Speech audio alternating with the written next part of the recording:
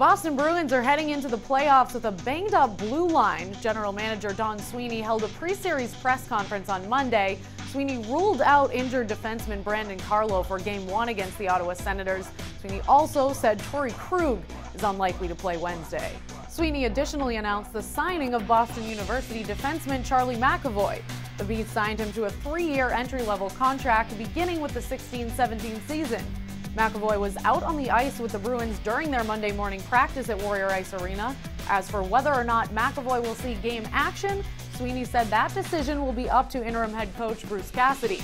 Sweeney said, quote, we feel comfortable having seen him play recently with his skill set that he'd be able to handle it.